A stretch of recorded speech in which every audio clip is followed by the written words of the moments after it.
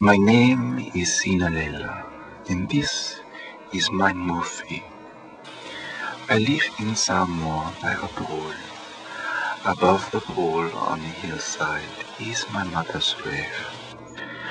My father married again into a poor but important family. My stepmother was a queen and an ogre. My stepsisters, Mealele and Graham, were queens too. Everyone was a queen but me. I was just an ex-rugby player consigned to household duties.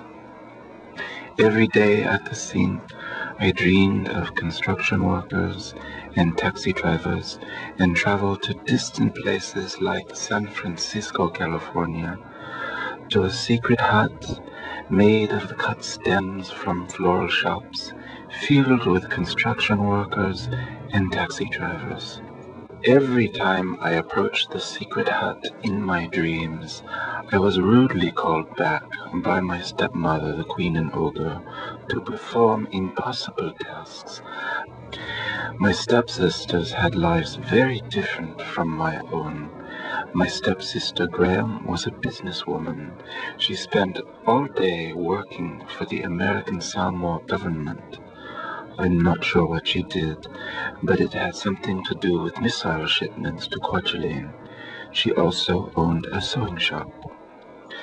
My other sister, Mealele, managed a government-owned hotel. She had managed to get it named the worst tourist destination in the world, which is a good thing because who wants tourists? They expect you to give them the best beaches, the best views, the best food, the best girls so our kids can learn to sell ulas. My name used to be Sina, but they called me Sina Lela, which means that Sina. One day, while I was cleaning dishes, I discovered a one-eyed fish that must have swum up the plumbing from the reef below the house. One-eyed fish, one-eyed fish, Bring me to my prince. Suddenly, I found myself on the seawall, where I had met so many young men in my youth. I'll never find my prince here, I thought. But there on the wall was an ariku.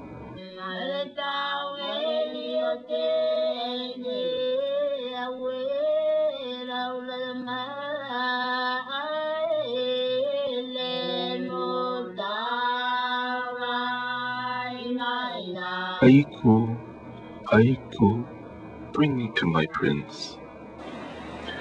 Well, I don't know if it was the one-eyed fish or the Aiku spirit dancing on the seawall, but here I am.